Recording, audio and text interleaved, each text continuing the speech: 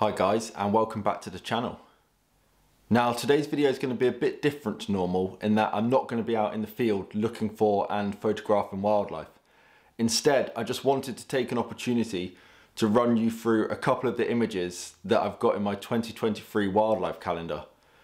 Now don't worry it's not going to be a video on me just sitting in my office boring you about all of it. There is going to be some footage and a little bit of a story behind four of the images um, and why I chose those images for this calendar. But before I do any of that, I just wanted to discuss one thing really, really quickly, and that's about pre-orders and pre-ordering the calendar and why I asked for pre-orders.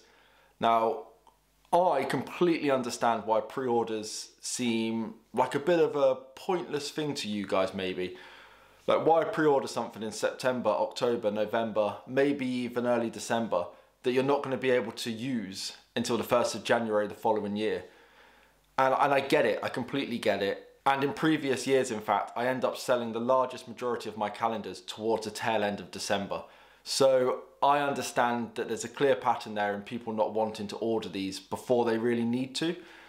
But from my point of view, pre-orders are so, so important because Last year, for example, I ended up selling out of calendars and not being able to fulfill people's orders towards the end of December, which is always a shame when someone wants something and you're not able to give it to them. And in other years, I've ordered too many and then I've been stuck with overstock that come the 1st of January next year, I'm not able to sell. So then I've just got a box of calendars in the loft that are good to nobody. So that's kind of the reason that I asked for pre-orders is because it helps me ascertain exactly how many I'm going to sell. Now the thing with that is there's not really any incentive for you guys to actually place a pre-order really, is there? So I was thinking about how I could one, incentivize you guys to do so, and two, also say thank you for your continued support. And I came up with a couple of ideas, and one of them was to give away a camera bag. So one of the f-stop camera bags um, to do a giveaway. And I've decided that because not everybody that's going to order a calendar is a photographer, I've decided I'm going to leave that one until I hit 3,000 subscribers. But I've decided that instead what I'm going to do is I'm going to be giving away a voucher, and more than one in fact. I'm going to be giving away a few vouchers, and they're going to be given away at random, in random calendars, and they're going to be for the value of one of my workshops. So that's £130, but that doesn't mean that you have to spend it on a workshop.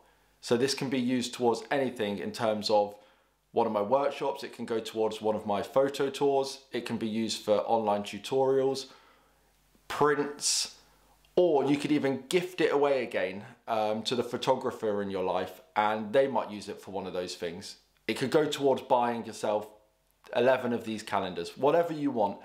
But I thought it would be quite nice to do that. So rather than just giving away one voucher, I'm going to give away a couple of them at random and that's kind of going to help hopefully incentivize you guys to place a pre-order. Okay, so that's enough on the pre-orders and all of that kind of stuff for now. I wanted to jump into the images and talk to you about how I achieved these and just share how I felt when I was capturing these images. And I'm going to start with January, not just because it's the first of the month, but because it's probably one of the most memorable wildlife encounters I've had in the last couple of years. And it all started when I was on Mull back in July last year.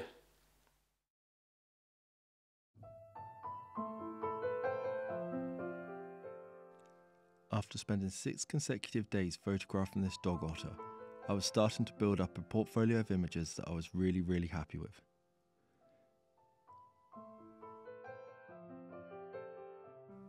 And on this particular day, as I lay on the shoreline photographing this otter once again, it all suddenly became a lot more special, as the otter decided to have a nap right in front of me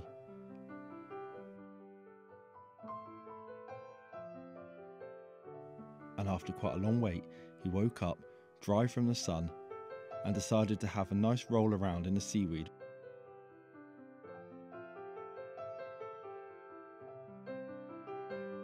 And it was in these moments that I was able to capture some images that I'm really, really happy with.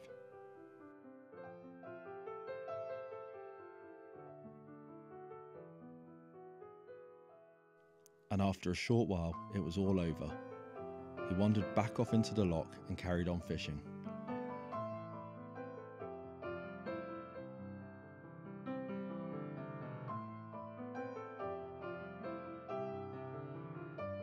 I often think about this otter and what he's up to now. And when I look back at these images, I'm filled with nothing but fond memories. And it's that reason that I wanted this image to feature as the first image in my 2023 wildlife calendar.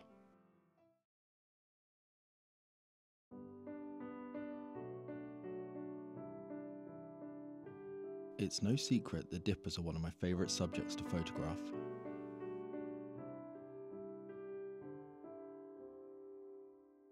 I've been lucky enough to photograph them in all different locations and in many different conditions.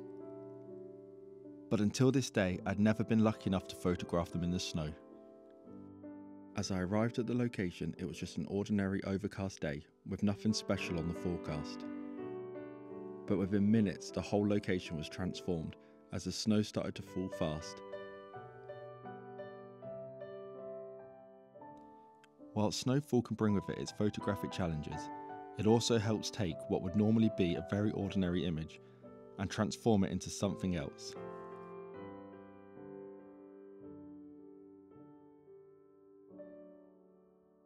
I have hundreds, if not thousands, of images of dippers, but I would say that this image captured on a cold February morning has to be one of my all time favourites.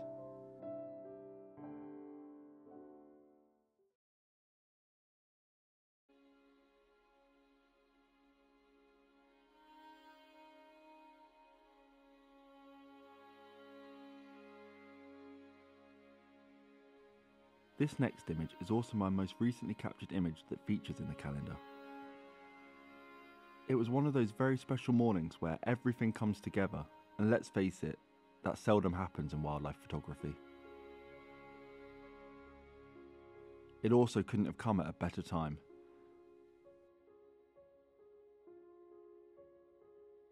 For a few weeks leading up until this point, I was experiencing increased anxiety, and this morning in Richmond Park really, really helped me to wind down and start to feel a bit calmer again.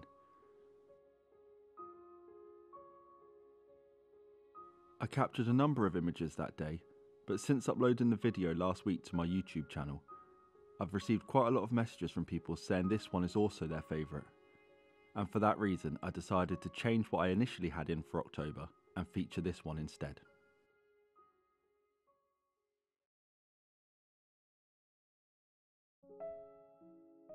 So this final image is probably one of my favourite all-time images. And it's not because of the quality or anything like that. It's just because it means so much to me and almost too much, really, to put into words. Now, this image was captured very, very early on in my photography career. I think I'd only been photographing as an amateur for about six months. I was up in Derbyshire visiting my grandparents, and my gran had told me that she had seen quite a few hares in one of the fields down on their farm. So I set out early morning and went and sat on the edge of the field that she pointed out to me and I could see a hare pretty way off in the distance. At the time, I didn't really have a clue about how to approach hares or what to look for, so I just sat still. I just waited to see what the hare was doing and just enjoyed the moment watching it. But I got extremely lucky and the hare decided to start bounding down the field towards me. So I lay down, fired off a few images, and the hare got up onto its back legs, and I was able to capture this one. I remember that feeling so, so well. But the feeling I remember most was the feeling of being able to run back to the farm and show my grandparents the image. And it's that feeling and seeing my grand's reaction that I hold so dear to me. And that's why photography to me is more than just the images. It's about capturing that moment in time and being able to share it with other people and the ones you care about. For those reasons, this will probably always be one of my favourite images. So there we go. That's the story of those four images. And I could probably go on all day and completely bore you about all 12 images, but um, I will just leave that and just let you look at them and there'll be a short bit of text about where and how I achieve the shots anyway within the calendar.